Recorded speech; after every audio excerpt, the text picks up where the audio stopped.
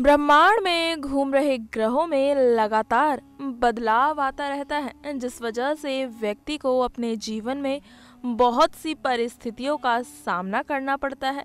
ग्रहों की चाल हमेशा बदलती रहती है और इस ग्रहों की बदलती चाल की वजह से कभी शुभ तो कभी अशुभ योग बनते हैं, जिस वजह से व्यक्ति के जीवन में कभी सुख तो कभी दुख आता जाता रहता है।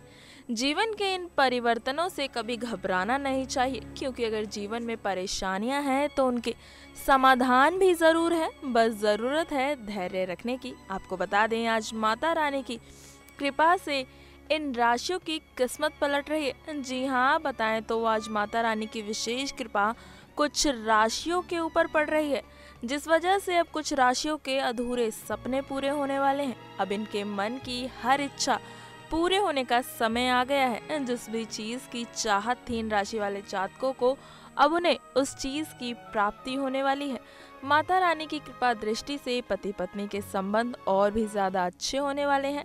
नौकरी में सफलता हासिल मिलने वाली है और कार्य क्षेत्र में आपकी खूब ज़्यादा प्रशंसा की जाएगी।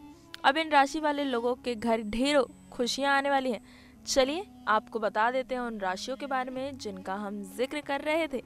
तो वो राशियाँ हैं मिथुन, सिंह, तुला, मकर और कुंभ। इसी तरह रोज़ाना अपनी राशियों के बारे में जानने के लिए देखते रहें हमारा चैनल और हमारे चैनल को सब्सक्राइब करना ना भूलें।